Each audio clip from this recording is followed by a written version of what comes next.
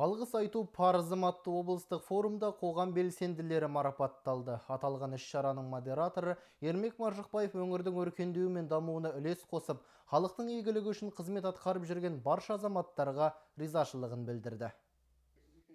Форумда үкіметтік емес ұйымдардың, қоғамдық бірлестіктердің, түрлі сала мамандарының жылдар бойы атқарып келе жатқан жұмысы айқындалды. Сондай-ақ үлкен жанкештілікпен азаматтық борышын орындаған жандардың да есімі аталып, ілтипатқа бөленді. Олардың қатарында қос бүлдіршінді өрттен аман сақтап қалған Талғат Жексенбаев та бар. Бейбіт күннің қаһарманы оқыс оқиға кезінде жылаған бала үнін естіп, бірден әрекетке көшкен. Загорелся дом и очень... үй жанып жатты. Балалардың шырылдап жылағанын естіп бірден көмекке асықтым. Отқа оранған үйдің жанында менен басқа ешкім болған жоқ. Сондықтан кірмеске амалым қалмады. Өзімнің де балаларым бар. Егер сәл кідірсем бүлдіршіндер мерт болар еді. Өңір басшысының қолына марапат алған Сұлушаш Тембиева да өскелең ұрпақтың мүддесі үшін қызмет атқарып жүрген жан. Педагог жеті жыл бойы Аршалы ауданындағы номері 13-ші психологиялық педагогикалық түзету кабинетінде аутизм дертіне шалдыққан балалармен жұмыс істеп келеді. Оларды сауықтыруға бағытталған кешенді бағдарлама әзірлейді. Қазір білім мекемесінде ерекше күтімді талап ететін 40-тан астам оқушы бар. Для меня было неожиданно. Осы іс-шараға қатысқаныма өте қуаныштымын. Шыны керек бұл тосыннан болған жағдай.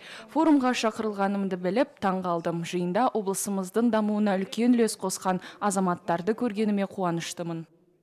Былтыр облыста емдік көмекті қажет ететін балалар үшін 4 мыңнан астам қайырымдық іс-шара мен акция өткізілген. 20 мың адамды қамти отырып, көп балалы және аз қамтылған отбасыларға 600 миллион теңгеден астам мөлшерде материалдық көмек көрсетілді. Мұның бәрі қоғам белсенділерінің бірігіп атқарған жұмыстың нәтижесі. Сондай-ақ өңір басшысы апатты жағдайларда өмірін қиюға даяр айбынды азаматтардың да еңбегін атап өтті.